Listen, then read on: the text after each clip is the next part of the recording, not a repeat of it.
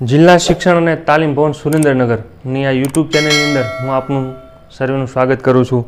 આજે આપણે ગુજરાતીનું ધોરણ છનું કાવ્ય મહેનતની મોસમની આપણે ચર્ચા કરીશું. તો પહેલાં મિત્રો આપણે ચર્ચા કરીએ, પહેલાં આપણે એનું ગાયન કરીએ, તમને ખૂબ મજા આવશે.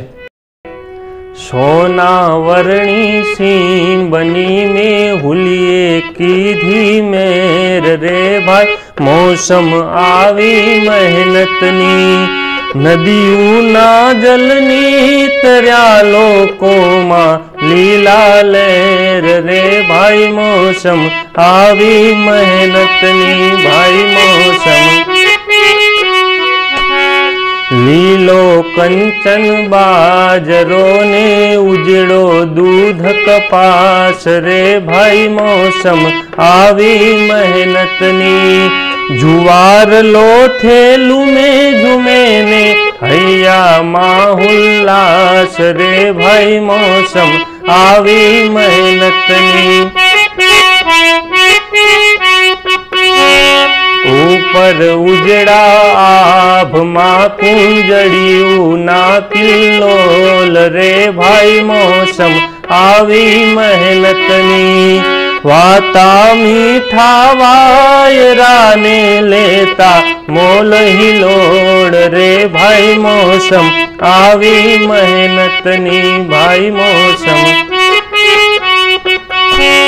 લિયો પછેડી તાતરડા આજ સીમ કરે છે સાદ રે ભાઈ મોસમ આવી મહેનતની રંગે સંગે કામ કરીશું થાય મલક આબાદ રે ભાઈ મોસમ આવી મહેનતની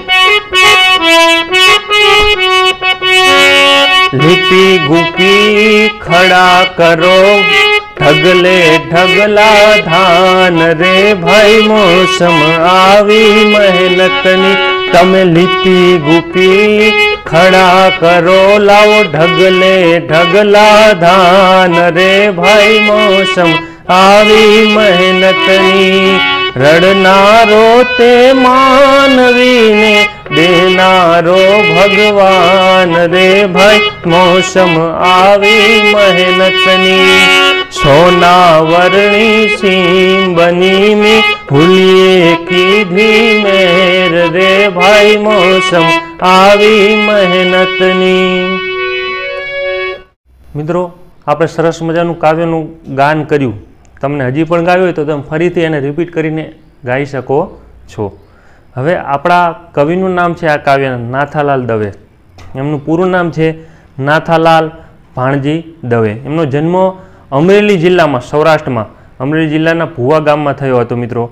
અને એમણે શિક્ષણ ક્ષેત્રે ઘણું કામ કર્યું છે. તેઓ શિક્ષક, આચાર્ય તેમજ શિક્ષણાધિકારી તરીકે પણ પોતાની સેવાઓ આપી છે. તેમના જાણીતા પુસ્તકોમાં છે કાલિંદી જાહ્નવી અનુરાગ, પિયાબીન આ બધા એમના કાવ્ય સંગ્રહો છે. તમે મોટા થાવ અને લાઇબ્રેરીમાં ગમે ત્યાં તમને આ આ પુસ્તકો જોવા મળે તો તમે જરૂરથી એનો અભ્યાસ કરજો. અને કવિ છે એમને સરસ મજાનું આ કાવ્યની અંદર જે વરસાદ આવી ગયો, પાક તૈયાર થઈ ગયો અને પછી જે લણવાની મોસમ ચાલુ થાય છે, બરાબર? તો એને કવિએ મહેનતની મોસમ કીધી છે અને સુંદર મજાના શબ્દ ચિત્રો આપીને, જેમ જેમ આપણે કાવ્યમાં આપણે વાંચતા જશું, એનો વિચાર કરીશું, તો આપણને શબ્દ આપણી આંખ સામે આખું દ્રશ્ય એનું ખડું થઈ જાય છે. તો એવી કવિએ વાત કરી છે. આપણે કાવ્યની પંક્તિ કહેતા જઈએ અને સાથોસાથ તેનો અર્થ પણ આપણે ધીમે ધીમે સમજવા માટે પ્રયત્ન કરીએ. કવિ કહે છે, સોના વર્ણી સીમ બની, મેં હુલીએ કીધી મહેર રે ભાઈ મોસમ આવી મહેનતની. કવિ કહે છે, સોના વર્ણી સીમ બની. સોનો, સોનું, તો સોનાનો કલર કેવો આપણને બધાને ખબર છે. સોનાનો કલર સૂર્યનો પ્રકાશ જેવો. બરાબર? કેસરીની પણ સૂર્યનો પ્રકાશ જેવો. એકદમ ચમકતો. તો કવિ કહે છે કે સોના વર્ણી સીમ બની. તો જ્યારે પાક શરૂઆતમાં તમે વિચાર કરો, પાક જ્યારે ઉગે ત્યારે પહેલાં લીલો હોય. કેવો હોય? લીલો. પછી ધીમે ધીમે એ જ્યારે તૈયાર થઈ જાય, એને લણવાનો આવે ખેતરમાંથી આપણે પાક લેવાનો એ સમયે ધીમે ધીમે સોનેરી કલરનું પાક થઈ જાય છે. એના કારણે આખું સીમ, આખું ખેતર સોનાવરણું બની જાય છે. અને શું કામ સોનાવરણી બની? તો કવિએ કીધું છે કે મેહુલીએ કીધી મહેર. જો મેહુલાની મહેર થાય, જો વરસાદ સારો થાય, તો જ આ બધું શક્ય બને છે. નદીઓના જલ નીતર્યા. લોકોમાં લીલા લહેર. નદીઓના જલ નીતર્યા. હવે નદીમાં પહેલાં જે પૂર જેવું હોય, વરસાદ બહુ પાણી હોય, ધીમે ધીમે પાણી ઓછું થતું જાય અને એકદમ ચોખ્ખું પાણી. એકદમ ચોખ્ખું. તમે જુઓ તો આરપાર દેખાય એવું ચોખ્ખું પાણી નદીમાં જાતું હોય છે. નદીના જળ પણ હવે નીતરી ગયા એને નીતર્યા કહેવામાં આવે છે. અને લોકોમાં લીલા લહેર છે કારણ કે સરસ મજાનો પાક ઊભો થઈ ગયો છે. આગળ કવિ કહે છે કે લીલો કંચન બાજરો ને ઉજળો દૂધ કપાસ. રે ભાઈ મોસમ આવી મહેનતની. લીલો કંચન બાજરો. તો મિત્રો જ્યારે બાજરો તૈયાર થાય ત્યારે એ થોડો ઘણો લીલો હોય છે. અને પાછો એ લીલો છે અને કંચન છે. મિત્રો કંચન એટલે શું? વિચાર કરો જોઈએ તો કંચન એટલે સોનું. હવે સોનું કોઈ દી લીલું હોય, બરાબર? સોનું લીલું ન હોય. પરંતુ બાજરો છે, જે અનાજ છે, એ અનાજની આપણા જીવનમાં કેટલું મહત્ત્વ છે, બરાબર? અનાજ છે, એના કારણે તો આપણા બધાનું જીવન શક્ય છે, આપણું જીવન ટકાવી રાખે છે. તો એટલું મૂલ્યવાન છે, એટલા માટે કવિએ એને લીલો કંચન કીધો બાજરાને. બાજરાનું મૂલ્ય એટલું છે, સોના જેવું મૂલ્ય છે. લીલો કંચન બાજરો ને ઉજળો દૂધ કપાસ. કપાસ કેવો છે? તો ઉજળો એટલે સફેદ. પણ કોના જેવો સફેદ? તો કે દૂધ જેવો સફેદ કપાસ પણ ખેતરમાં આપણને નજરે આવે છે. જુવાર લોથે લૂમે ઝૂમે ને હૈયામાં ઉલ્લાસ રે જુવાર લોથે લૂમે ઝૂમે. જુવારના જે ડુંડા હોય એ તૈયાર થઈ ગયા હોય. પછી પવન આવે ને, એટલે એની અંદર એ પવનની સાથે સાથે લૂમે ઝૂમે, એ ઝૂમે છે. એ જોઈને ખેડૂતના હૈયામાં, આપણા હૈયામાં, જે લોકો જો એના હૈયામાં ખૂબ જ ઉલ્લાસ, ખૂબ જ આનંદ થાય છે તરવાડ થાય છે કે વાહ ભાઈ વાહ, કેવો સરસ મજાનો પાક થઈ ગયો.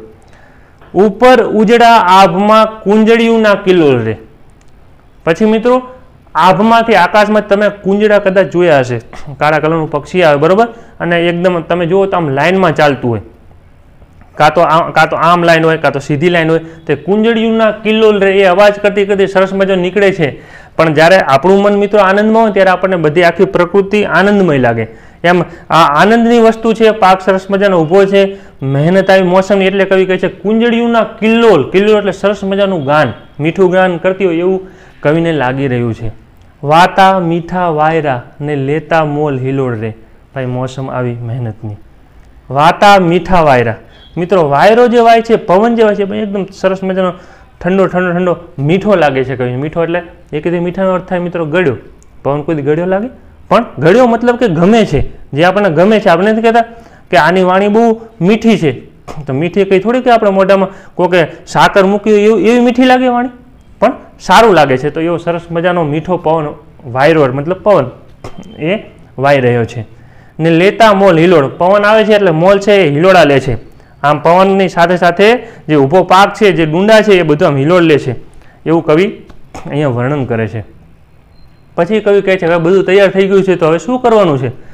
લીઓ પછેડી દાંતરડા આજ સીમ કરે છે, સાદરે ભાઈ મોસમ આવી મહેનતની. લીઓ પછેડી દાંતરડા. પછેડી એટલે મિત્રો, એક એ ખેડૂત હોય, તો એ લોકો ખેડૂતો અહીંયા માથે પણ ફાળિયા જેવું બાંધ્યું હોય, પછી ધારો કે એક દાંતરડું જોઈએ, કારણ કે વાઢવા માટે, બરાબર, પાકને લેવા માટે દાંતરડું જોઈએ, અને પછી પછડી હોય, એને મોટી પાથરી દે, એની અંદર મોટું ગાંછડી જેવું બરાબર? દે અને પાકને બધો લાવે છે. તો લીઓ પછેડી દાંતરડા આજ સીમ કરે છે સાદ. મિત્રો, સીમ સાદ કરે છે. તો અહીંયા પણ આપણે જો કવિની ભાષા, આપણી બોલચાલની ભાષા કરતાં થોડી અલગ હોય, અલંકારિક હોય, બરાબર? મીઠાશવાળી હોય. લીઓ પછડી દાંતડા સીમ કરે છે સાદ. સીમ સાદ કરે એટલે ત્યાંથી કોઈ અવાજ આવે? એમ નહીં. પણ સીમ છે, ખેતર છે, એ હવે આપણને બોલાવી રહ્યું છે જો ભાઈ બધું તૈયાર થઈ ગયું છે. પાક કમ્પ્લીટ તૈયાર થઈ ગયો છે. બરાબર? મેહુલે મેર કીધી. તો હવે આપણે પાકને લેવાનો સમય થઈ ગયો છે. એટલે હવે આપણે દાંતરડું અને પછડી લઈને એ પાકને લેવા માટે ત્યાં મહેનતે લાગવું પડશે. મહેનત આવી મોસમની કામે લાગવું પડશે. રંગે સંગે કામ કરીએ થાય મલક આબાદ રે ભાઈ, મોસમ આવી મહેનતની. રંગે સંગે. મિત્રો, સંગે એટલે એકબીજાની સાથે અને રંગે એટલે, રંગનો એક અર્થ મિત્રો કલર થાય, પણ રંગે મતલબ કે આનંદથી. એકદમ આનંદથી રંગે સંગે એકબીજાની સાથે આપણે કંઈક પ્રસંગ હોય, કોઈ લગ્ન પ્રસંગ હોય, કેવા બધાય આખું ફેમિલી જાતું હોય, હસતું, મજાક કરતું, એને રંગે સંગે કહી શકાય. તો રંગે સંગે કામ કરીશું બધાની સાથે અને આનંદથી કામ કરીશું. બધા આવી રીતે કામ કરે મિત્રો. તો આ એક ગામ આબાદ થાય. આબાદ મતલબ કે સમૃદ્ધ. બરાબર? એનો વિકાસ થાય. એક ગામ થાય, એક શહેર થાય અને આખો દેશ આ રીતે આગળ વધે છે. લીપી ગુંપી ખડા કરો. લાવો ઢગલે ઢગલા ધાન રે ભાઈ, મોસમ આવી મહેનતની. લીપી ગુપી ખડા કરો. મિત્રો, ખડું શબ્દ એક તો, અને બીજું લીપી ગુપી.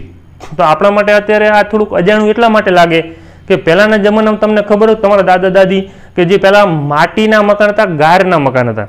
જે છાણ હોય અને માટી ભેગું કરે, પછી એને ફૂલ આમ લીપે.